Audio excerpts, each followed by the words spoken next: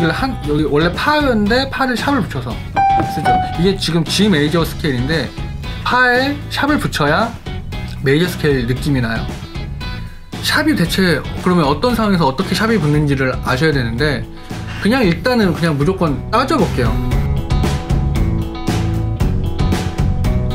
방금 G 같은 경우엔 G가 옥타브가 이렇게 있고 여기서 미파하고 시도는 시도가 여기 있고 미파가 여기 있잖아요. 근데 3, 4는 그 위치에 와 있어요. 반음 간격이죠.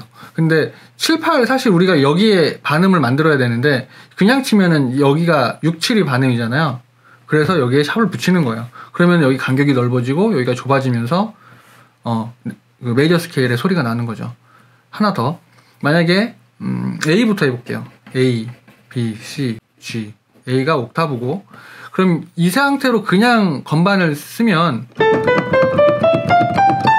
그냥 natural minor 소리가 나죠. major sound로 만들고 싶으면 3, 4, 5, 7, 8을 반음인 상태로 만들어야 돼요. 근데 지금 보면 그대로 쳤을 때 시도 그리고 미파가 여기 있죠. 근데 얘가 3, 4, 얘가 7, 8 여기랑 여기를 반음으로 만들어야 돼요. 그럼 어떻게 해야 되죠? 그럼 기호를 써야겠죠. 샵을 붙여서 샵을 써서 음. 여기는 쉬워요. 여기가 좁으니까 여기 넓히기 위해서 여기 샵을 붙여요. 그럼 여기 좁아지죠. 그럼 여기는 해결이 된 거예요. 여기 같은 경우에 여기가 좁으니까 여기 샵을 붙였어요. 여기는 해결이 됐지만 여기가 반음이 됐죠. 그럼 여기로 여기로 반응을 만들어야 되니까 여기도 넓히기 위해서 또 샵을 아, 붙여요. 그럼 여기가 좁아지죠.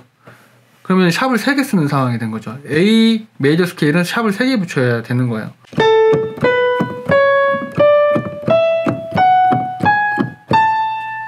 major scale sound가 나죠. sharp 3개 붙이니까. 이렇게 해서 그냥 하나하나 따져보셔도 되는데 조금 빠른 방법이 있어요. 뭐 오도권이라는 거라고 막 이렇게 그림이 이렇게 있는데 그거 보면 더 지금 헷갈릴 수 있어요. 그냥 제가 말씀드리는 파도 솔레 라미시 이걸 외우세요. 파, 도, 솔, 레, 라, 미, 시. 이게 뭐냐면 샵이 붙는 순서예요. 우리가 오선지에 이렇게 있을 때 위에 이렇게 샵을 붙여서 이게 어떤 조인지를 표기를 하는 건데 그냥 아무것도 없으면은 샵이 아무것도 안 붙는다는 거고 파에 하나 붙어 있어 있으면은 파. 이렇게 붙어 있으면 이것만 보고도 아 파에 sharp이 붙는구나. 그러면은 무슨 키? G? G. G major 음, 키 G major 키예요. 그리고 방금 여기 sharp 3개 붙은 거 볼까요? 그러면은 sharp 3개 파, 도, 솔 이렇게 이런 순서대로 붙어요.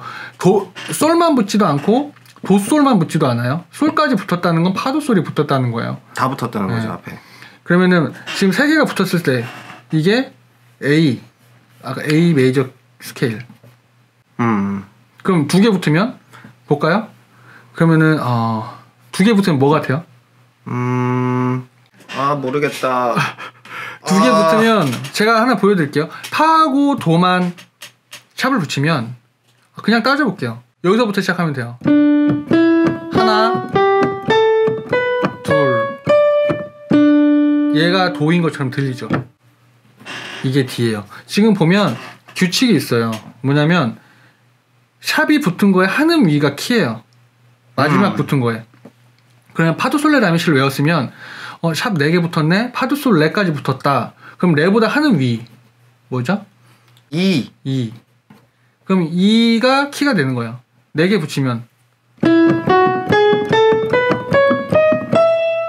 음, 그럼 여기는 B B, 여기는 F F 샵. 아니죠. F 샵.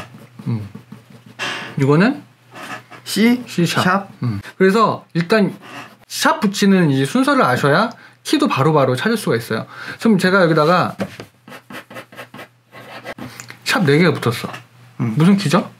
그러면은 E 음. 이게 E 키. 음, 그리고 3개 붙었으면 그러면은 A 키? 어, A 키. 음, 약간 보고 읽은 건데. 어찌됐든 이것만 보고도 키를 바로 알 수가 있어요. 거꾸로 하면 플랫이 붙는 순서예요. 시미라레 솔도파. 어. 이거는 시 하나에만 붙으면 이렇게 돈다고 생각하면 되는데 바로 직전에 붙은 알파벳을 쓰면 돼요. 이게 키예요. F 키. 그리고 sharp이 두 개 붙으면 바로 직전에 붙은 거 그럼 C 미에서 C, B인데 여기에 플랫을 붙여요. B 플랫 키가 돼요.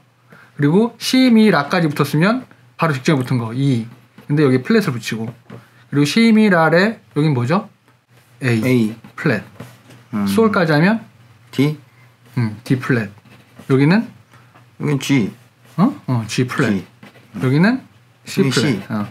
그러면은 F만 빼고 다 이렇게 플랫 붙여서 외우시면 돼요. 이게 더 편해요. 그 오도권 보고 너무 이해하려고 하지 말고 지금 얘가 왜 샵을 붙이는지 정도는 알고 있으면 되니까 조금 복잡할 수 있거든요. 처음에. 음, 생각을 한번 잘 한번 해보시고 잘 모르시겠으면 다시 앞부터 보면은 음, 몇번 더 보세요. 네. 근데 지금 이렇게 말한 것 같고 이해가 다 되긴 하려나? 모르면은 댓글 달아주시면은 어, 네가 답글을 달 거지. 어, 최대한 난 답글 안 달 거야.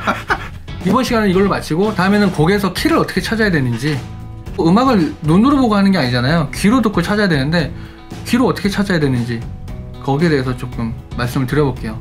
곡의 키를 찾아야 그 곡에 내가 악기를 얹을 수도 있고 뭐 편곡을 할 수도 있는 거니까 어, 이번 시간은 여기까지 하겠습니다. 고맙습니다. 감사합니다.